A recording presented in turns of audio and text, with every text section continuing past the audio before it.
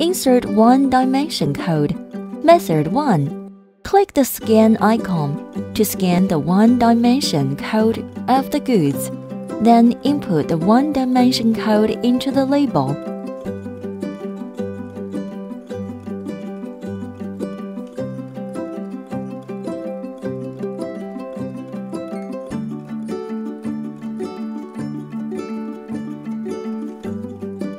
Method 2.